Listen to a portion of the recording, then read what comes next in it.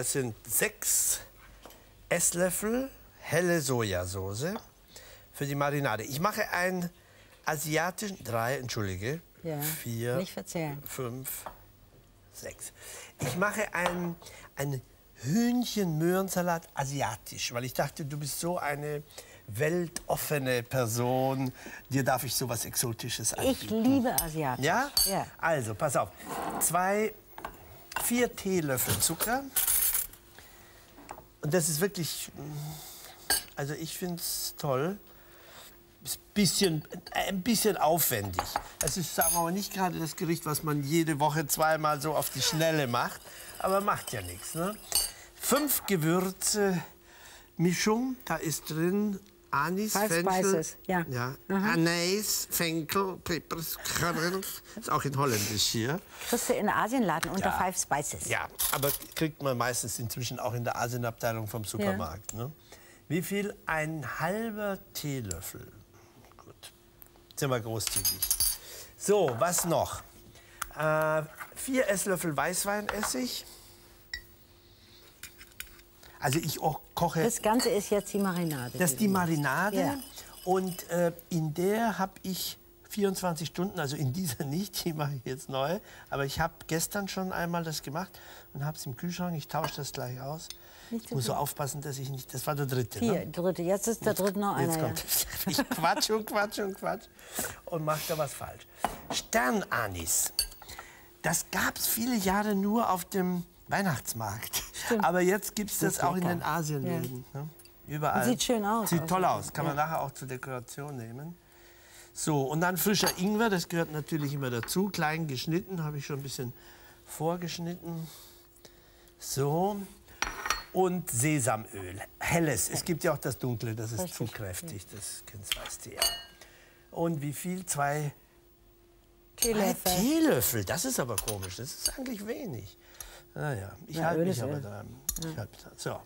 so, ja, es ist jetzt diese Marinade und da kommen jetzt diese Hühnchenbrustfilet rein. Und zwar, wenn du mir jetzt hilfst, Liebke, Das mach ich glatt. das machst du glatt, wenn du Ja. mir das aufhältst. Wollen wir hier die Schublade Ja, zumachen, zumachen. damit das Öl da nicht reintropft? Genau, dann kann ich das. Ja, der Ingwer ist auch drin. Habe ich ja, Ingwer. So, Und das andere auch? Das andere auch. Und da kommen jetzt. Muss man das gar nicht rühren, sondern einfach nur so. Also, Ja, das, Das verrührt selber, sich, ja, ja? ja, das verrührt sich jetzt hier. So. So, schön. Ja, du kannst das sicher besser zumachen. jetzt kommen diese Dinger da ineinander. die müssen jetzt ganz genau- Ja, mhm. Siehst du? Theoretisch. Ja, theoretisch. Weil Weißt du was? das Wir soll das zu sein. ja, aber so. du kannst es einfach, ja, so. so. Wichtig ist, dass das eben jetzt, das meintest du mit dem Ver. Ah! Ja. Aber das geht ja auch nicht. Pass auf, ich habe so, so kleine ovale Schälchen hier, wenn du mir so eins gibst. Genau, dann kann da sogar was Finden wir auch einen raustropfen. Lappen? Ja, ich. du, nimm doch so, so Küchenkrepp. Küchenkrepp. Ich habe zwar auch solche. Hab irgendwo. So.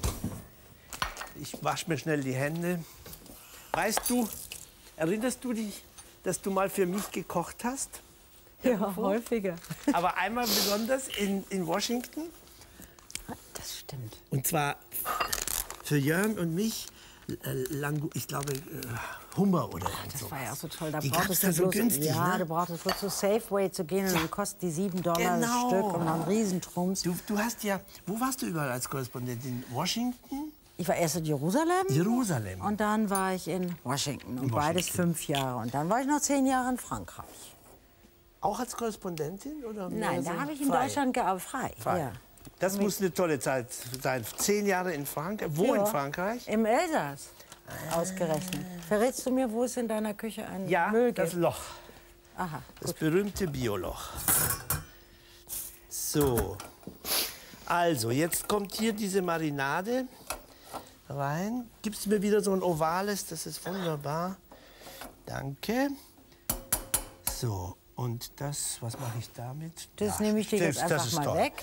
Und da kommt jetzt ein halber Liter Hühnerbrühe rein, die ich natürlich aus so einem Würfel gemacht habe. Also die Mühe habe ich mir nicht gemacht, die selbst zu machen. Bei Risotto mache ich die natürlich selbst.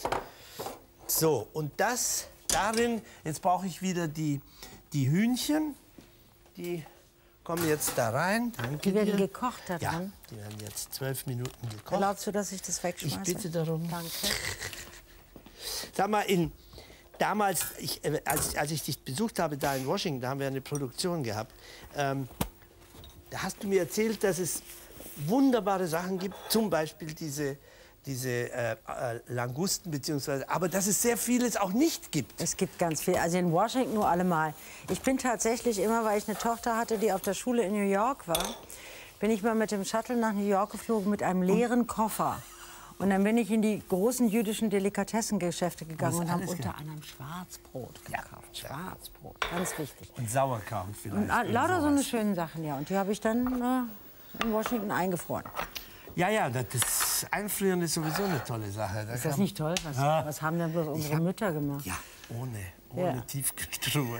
Wiebke, was machst du? Irgendeine Stubenküken? sind Stubenküken mache ich. Stubenküken Liebe Stubenküken. mit Pernod und Knoblauch. Also ich hoffe, du musst heute Abend nicht irgendeine sehr innige Nö. Du, wenn ja, das muss dann auch ausgehalten äh, werden. Muss dann ja. ausgehalten Ja. werden. Die, die sind herrlich. Leider gibt es die ja nicht überall und immer. Aber ich habe hier so ein wunderbares Geschäft in Köln, wo ich die kaufen kann. Es gibt sie wirklich nicht immer. Sie Nein. sind, warte mal, ich brauche eine Schürze. Weißt du, warum die Stubenküken heißen? Nö. Weil sie früher wirklich In der Stube in der gehalten Stube, wurden. äh, bei, am Ofen wurden die äh, aufgezogen. Aber die sind auch ein bisschen groß, sind eigentlich kleine Die Hähnchen. ne? müssten, ja, sind kleine Hähnchen. Ja. Psst, Das, ist so eine, das ist so eine. Also sie heißen, sie heißen Stubenküken. Stubenküken. Also die Hälfte wäre auch noch ganz gut. Guck mal, ich nehme nehm, was immer ich so an Fett finde da raus, Ja, weil wir leben ja, irgendwie kalorienbewusst. Und jetzt kommt da rein Aniskörner. Ah, die hast du eben ein bisschen ge Ja. gemörsert. Aniskörner kommen da rein und Salz. Ich halte das. Du hast, glaube ich, immer gekocht. Oder? Immer. Immer. Ja. Also ich kenne dich seit, Na, so darf ich sagen, ja, ja, das darfst du 64. schon. Ja, oh Gott, seit Beginn der. Drehscheibe. Du, das sind irgendwie 40 Jahre, wenn wir ein, ganz ehrlich es gibt sind. ein Ne? unglaublich schönes Foto von uns beiden im Tivoli.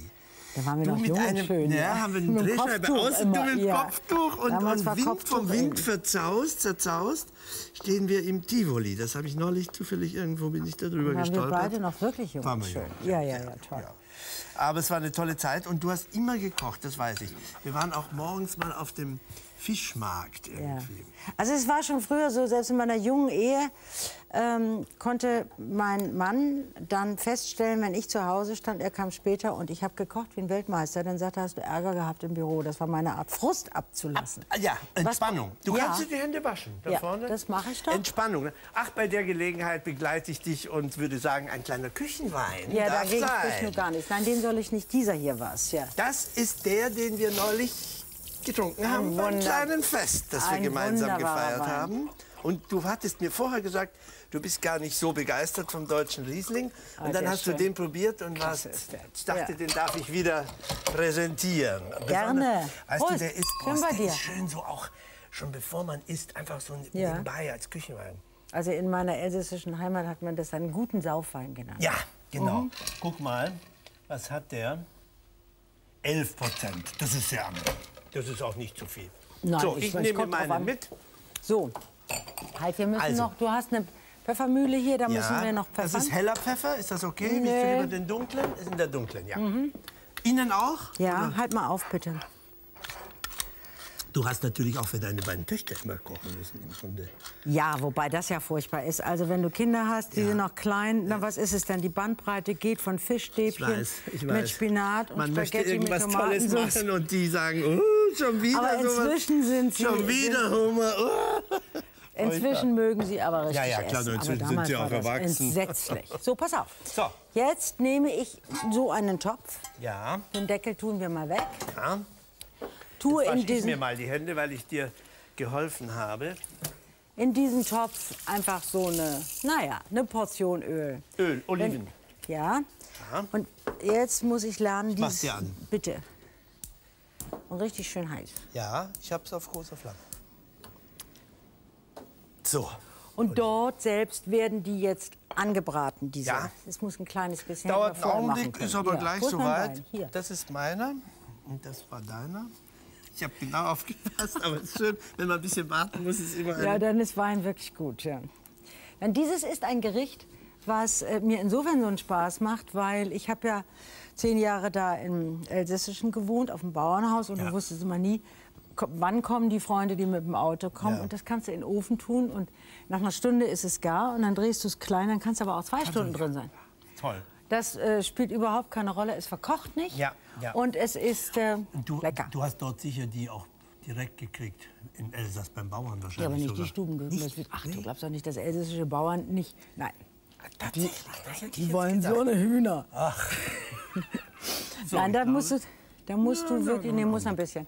Da, da musst du wirklich dann schon auch in die richtigen Läden gehen. Und hast du elsässische Sachen auch richtig geübt? Ja, das habe ich also- gekocht, aber ich habe zu meiner Verblüffung festgestellt, dass so äh, auf den Dörfern, äh, wenn du eingeladen bist zu Kindstaufenbeerdigungen Ja. und Ähnlichem, ähm, das nicht die allertollste Küche ist. Ja, du kannst in guten Restaurants gut Es essen. gibt so viele gute Restaurants Ja, in Elsass. Deswegen eben. glaubt man, das ganze Elsass kocht Ja, gut. nee, nee, das ist so nicht. Ist nicht, ne? Nee, das Sehr ist so nicht. Außer. Petersilie kaum. Kräuter im Garten. ähm, aber das ist eine Gewohnheitssache. Und ich erinnere mich mal, dass ich mal irgendwann für Nachbarn für ein, ein Essen gekocht habe und habe eine Gazpacho vorneweg gekocht. Kalt. Und daraufhin sagte meine Nachbarin, die eine Bäuerin war, kalte Suppe esse ich nicht. Nee, Ja, das käme überhaupt gehört. nicht in Frage. Nee, das So, also, aber jetzt kannst du so ja, langsam ich, ich tue die da jetzt mal rein. reintun. Ich mache ja Stubenküken meistens anders. Ich brate die, also ich, ich lasse mir die schon von meinem Geflügelhändler zerschneiden in Brüste Ja. und, und Schenkel. Und ich mache, ich mache die einfach Flach. in, flach in der Pfanne, Butter. So wie man Waffeln brät, wenn man ja, sie aufmacht. Und mit Lemon Pepper, also mit Zitrone. Ja, das ist lecker. Mhm. Sag mal, was ist, darf ich ganz schnell mal sagen, was ist das für eine Sch Gorbatschow, Reagan, Reykjavik, Oktober 86. Das war dieser irrsinnige, äh, dieses irrsinnige Gipfeltreffen, wo wir innerhalb von zwei Tagen wurde das verabredet. Und wir flogen mit 500 im White House akkreditierten Journalisten. Du warst von ja damals in Washington. Richtig. Und da fuhren wir dahin und die waren in Reykjavik und in ganz Island waren die gar nicht vorbereitet auf diesen riesen Ansturm von Da. Leuten, die da kamen. Wurde so kurzfristig. Und die haben innerhalb von 24 Stunden wirklich alles zu Geld gemacht. Sie haben Schürzen gemacht, Schals gestrickt mit Stars and Stripes und haben russischen wahrscheinlich die, die Badezimmer vermietet als alles, Zimmer. alles. Und haben, es war wirklich klasse. Und da stammt diese Schürze noch her. Sag mal, hab ich die Uhr gestellt? Nein. Zwölf Minuten, naja, so in etwa werde ich das schon. Ja, vielleicht. Ich habe vergessen, die Uhr zu stellen, aber ich piekse da einfach mal rein, dann Ja. sehe ich ja, ob die weich sind. Also, du siehst, ich brate es an. Ja. Möglichst heftig, damit es ein bisschen Farbe Es ist jetzt- kriegt. Ist es auf es groß ist auf groß, ja. Nicht, nicht weiter, sonst Okay. geht's aus. Oh, ne, die werden jetzt schon braun. Ja. Ja. ja. Und in, sag mal, in Jerusalem, da gibt es sicher auch nicht alles zu kaufen. Nee, jetzt ja nun schon gar nicht mehr. Na, als, ich da war, ja. als ich da war, gab es wenigstens ein paar arabische Christen, die Schlachtern Ah ja, waren. auch, wo man auch wo man Schweinefleisch Schweinefleisch kaufen konnte, auch von Wurst machen, haben die auch nicht so viel verstanden. Das war auch wieder so ein Ding, ähnlich wie in, wie in Washington, dass ich, wenn ich nach Deutschland fuhr, mit einem leeren Koffer fuhr. Und dann habe ich die Tricks rausgekriegt, wie du tiefgefrorenes Wild unmittelbar vor dem Flug einpackst, bis du denn da bist, weil im Frachtraum ist ja kalt. Ja. Ist es gerade angetan. Wieder in den Nochmal Tiefkühler ins und Tiefkühl. völlig in Ordnung. Und Käse. Käse ist ja, äh, wenn man ihn mit Lab macht, eben nicht koscher. Und deswegen hast du in so, Jerusalem keinen anständigen Käse gekriegt. Ja, diese koschere Küche ist ja was sehr Eigenes. Und für uns nennen, ja. sehr schwierig nachzuvollziehen. Obwohl es gibt ein koscheres Restaurant in Jerusalem, da können die das wirklich. Da schmeckt es toll. Aber sonst für unseren etwas äh, vielfältiger gewöhnten Daumen. Es ist sehr. So, das reicht jetzt So, im Fass. reicht das? Ja, jetzt lösche ich das ab mit einem halben Glas Hühner, Wildfond. Hühnerfond, Hühnerfond, ja. ja. Sehr schön. Tue, Ich sehe schon dort die Pernod-Flasche, ne? ja, ja, komm gleich, komm gleich. Das Tue so, was haben wir? Wir beschließen jetzt zwei Menschen, nämlich du und ich Ja, essen das, haben wir ja. aber viel zu tun. Ja. Dann zähle ich die Kartoffeln, ich bin eine schwäbische Hausfrau und deswegen zähle ich das ab. ist wirklich So wahr. schwäbisch. Ich mache immer diese kleinen Kartoffeln, fünf pro Person und drei für den Topf. Ah, sehr schön. Ne? Gut, gut, so, die gut. kommen da rein und die sind gewaschen und geschält. Wunderbar. Und dann gehst du rücksichtslos mit Knoblauch um. Der ist in der Schale. In der Schale. Und da muss Kommt ich dir da sagen, rein? dass ich jetzt nun überhaupt nicht überrascht bin und auch gar keine Sorge habe für mein Rendezvous heute Abend, weil ich weiß, ich habe es selbst schon ausprobiert, wenn du zum Huhn, zum Schmoren, äh, diese Paprika tust, das, äh, der Paprika, diese, diese Knoblauch, Knoblauch genau. mit der Schale, ist kein Problem. Sie werden weich und wunderbar. So, jetzt kommt. Meine Kinder haben immer gesagt, Herrgott, noch eins, sag uns doch mal, wie viel. Und ich sage, ein Schwupps. Ein Schwupps.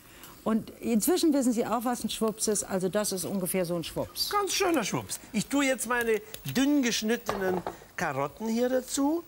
Die brauchen nämlich nicht so lang. Ähm, deswegen habe ich die erst später da reingetan. Jetzt kommt der Deckel drauf. Ja. Und zwar am liebsten umgedreht. Und wenn ich jetzt noch Eis finde. Eis, Ja, guck mal hier. Das tust du. Das So. habe ich überhaupt noch nicht gesehen. Was, was heißt Das macht, das, der Deckel ist heiß, das Eis schmilzt und innen läuft das Kondenswasser. Sammelt sich Und macht es noch, stärker. noch Ja, so ist es. Äh, ähm, Ja. Wie soll ich das sagen? Also noch, noch, noch Juiciger. Juiciger. so, und dann kommt das in den Ofen bei Juiciger. 200 Grad für eine Stunde. Eine Stunde. Etwa. 200 Grad. Aber Ja. du hast jetzt eins natürlich. Ich habe eins schon da drin, denn so lange Zeit das heißt, haben ich wir kann ja das nicht. jetzt ausmachen. Du kannst es ausmachen. Das wir tun wir es nachher rein, wenn ist Ja. heiß. Vorsicht. Ja, es war. Ja, hier, hier. Weil im Ah. Ofen ist schon etwas, was wir vorhin angefangen haben, damit wir die Sendezeit nicht überziehen. Ja. Und da würde ich jetzt ganz gerne, während du deins machst, nur mal eben den Deckel runternehmen, Ja, mach das, mach das. damit ich den Ähm, Grill noch mal anmachen kann. Siehst du, das ist jetzt geschmolzen. Und Das Eis ist geschmolzen und ist als Wasser hier drin und läuft. Ach so, es war irgendwie vorsichtig. kompliziert mit diesem Topf. Aber Nein, nein, nein, nein, nein. Soll ich dir helfen? Nein, weil wenn wir uns beide die Finger verbrennen, dann wird da gar nichts drauf. Dann ist es aber Solidarność. So, Ah, die sind aber schon ganz schön braun angebräunt. So, jetzt. jetzt mache ich den Grill noch ein bisschen an. muss ich mal gucken, ob... Beim wahnsinnig feinen Herd habe ich sogar gelernt, wie das geht. Ja, So, Grill groß. Ist das richtig? Ja. Ist das okay für dich? und das wär's. Ich glaube, die brauchen vielleicht noch ein ganz kleines bisschen. Jetzt sage ich dir mal, ich, ich lasse die noch ein, zwei Minuten Ja. ein bisschen kochen. Äh, eine Sache habe ich jetzt sozusagen getrickst, die erkläre ich dir. Diese Brühe, in der das kocht, aus der ich jetzt gleich die, die, die Hühner rausnehme, bisschen abkühlen lassen, schneide, dann die Karotten, die Möhren rausnehme, das ist ja die Basis des Salats. Diese Brühe müsste nachher noch mal 15 Minuten einkochen. Dafür habe ich die Zeit nicht. Das heißt, ich habe das ganz selbe noch mal vorher gemacht und Da habe ist hier das eingekocht und das ist quasi das Dressing. Aha, Das ist ja. Probier mal. Mhm. Schön. Ja, lecker. Weißt du, Mhm. da sind diese ganzen, da ist der, der Ingwer drin, da ist der Kreuzkümmel drin, da ist das, das Öl. Das ist, aber das muss man dann wirklich, da darf man auch nicht äh, ungeduldig werden. Das muss man wirklich Man muss es richtig 15 einkochen Minuten lassen. mindestens einkochen lassen. Und wenn es dann ein bisschen zu dick wird, kann man etwas von der Brühe noch mal reintun. Und das gibt dann also so ein, Sehr ne? schön. Ne? So ist das. Was essen wir denn zuerst? Wie lange braucht denn das? Meins ist im Prinzip fertig. Wollen wir den dann mal probieren? Ja, müssen wir hier mal ein bisschen Platz machen. Also, das brauche ich. Ich mache hier auch ein bisschen Platz. Ich brauche, brauche dafür eigentlich nur Topflappen und eine Platte, sodass ich so ein Stubenküken auseinanderschneiden Kann ich kann. dir irgendwas. Was brauchst du? Ein, ein, Also irgend sowas, wo ich, oder, ein- ein Brett oder was? ja, Bist du zum das? Beispiel. Du brauchst den Ofen nicht mehr, ne? Nein. Also mache ich ihn jetzt aus. Ups, Kannst 18. du ihn ausmachen? So. Das tue ich auch mal weg. Mach mal Sieht ja köstlich aus. bisschen. Oh, so sieht toll aus. Bisschen Ordnung. Ich bin ja eigentlich gar kein Aufräumer. Bist du? Ich bin wahnsinnig ordentlich. Küchenordnung? Ja? Und wie? Furchtbar. Sofort alles Furchtbar, sauber? alles immer weg, ja. Ah, Kannst nicht mal kommen, wenn ich koche? Gerne. So, pass auf, ich hole das jetzt raus. Mach mal hier ein bisschen Baguette. Nee, wir haben Kartoffeln, aber du kannst... Ah, brauchen wir gar keinen. Na, wunderbar. Bitte mal. Schön. Mmh, Ja, toll. nun fallen sie eben wirklich schön auseinander, Ja, nicht? ja, ja, klar. Durch die Flüssigkeit. Ja, und ist- ist toll. Richtig schön saftig. kannst ja so, du brauchst ja fast gar keine Schere. Nö, kannst du so auseinandernehmen. Toll. Ich hole noch ein bisschen Wein. Hast du auch einen Teller? Weil Bitte? wir müssen dann noch den Kartoffel und den Knoblauch. Teller bringe ich jetzt Ja. gleich auch. Ja, ja, klar. Super.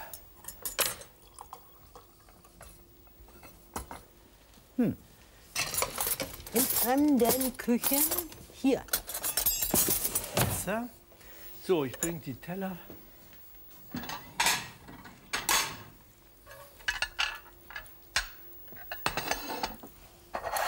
Siehst du, es, und das so genau so soll es sein. Es soll von den Mm. Knochen fallen. Auf, äh, ah, toll. so, ich glaube, ich kann jetzt meine Hühnchen rausnehmen. Ja, Ich nasch schon mal. leg du auf. Und ich hol schon mal hier meine Hühnchen raus.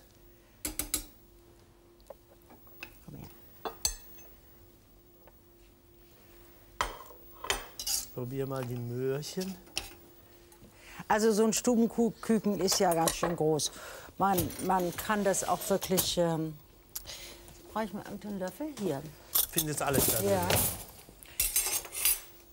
Aber es reicht auch ein normales Hähnchen ne? für zwei Personen. Eigentlich ja. Also für drei Personen mache nee, für vier Personen mache ich drei Drei, Stubenküken. ja. Mhm. So. Das sind jetzt die Kartoffeln, da sind die. Ach, da, und den drückt man dann so raus. Ja. Oder man isst ihn einfach so, das muss ich mal eben wegräumen. Herrlich, herrlich.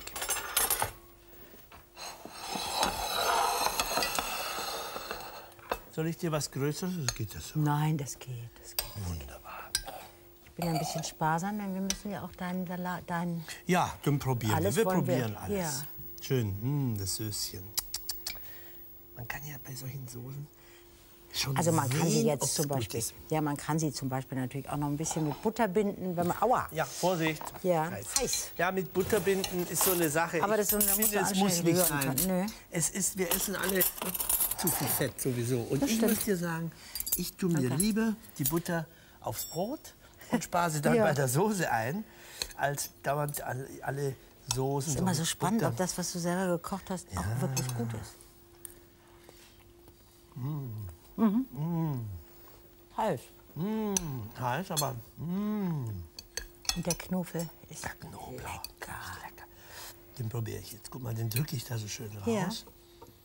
Ich habe so ein Rezept, das hat hier in der Sendung ähm, die, die, komme gleich drauf, eine Sängerin gemacht, Omar pour le pauvre. Und da sind auch solche, solche Knoblauch. Hummer für Arme. Ja, Christa Ludwig. Ist auch eine Zauberfrau. Ja. Doch, es ist gut. Oh. Und wie gesagt, man kann es runterdrehen, stehen lassen, bis irgendjemand dann endlich zum Essen kommt. Heiß ist es, ich weiß. Wir hätten es ein bisschen auskühlen lassen sollen. Aber Aber toll. Das Fleisch ist nicht heiß, nur die Kartoffeln. oh, der Knuffel ist lecker. So, Jetzt aber. Was machst du wenn du jetzt? mir zwei mittelgroße Teller bringst, Ja, ich schneide jetzt das Huhn. behaupte mal, dieses sind mittelgroße. Dann machen wir so ein bisschen. Ist auch noch ein bisschen heiß. Ich mach das so.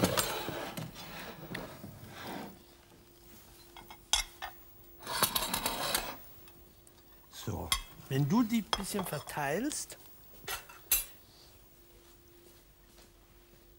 Sieht aber auch sehr gut aus. So, nochmal, die haben jetzt in der Marinade gelegen im Kühlschrank 24 über Stunden. Nacht. Und sie haben jetzt so 10, 12 Minuten hier gekocht. Ich muss ja einmal naschen. Darf ich manchmal? Ja. Ja, danke. Das zieht Mm. ganz schön rein. Die, die, Ma die Lecker. ist schön.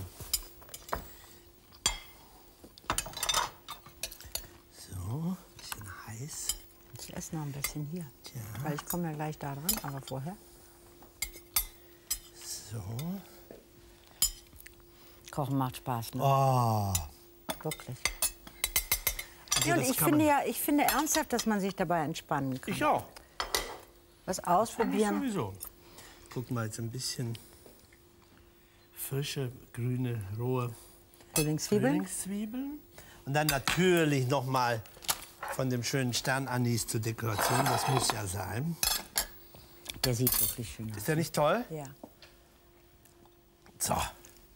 Und jetzt eben dieses, mal sehen, ich glaube, ich muss einen Hauch, jetzt glaube ich ein bisschen,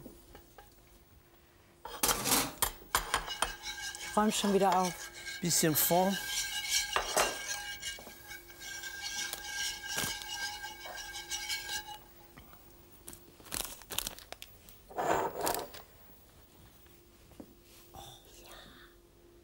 Und dann gibt es dazu ein Stück Baguette. Ja. So.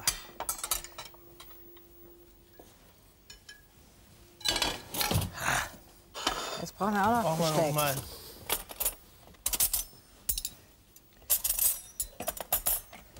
So, jetzt habe ich das, das Baguette doch nicht ganz umsonst geschnitten. Ich gebe es dir zu Fuß. Danke.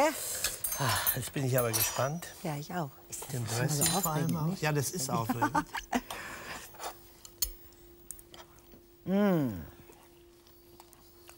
Alfred, Schön.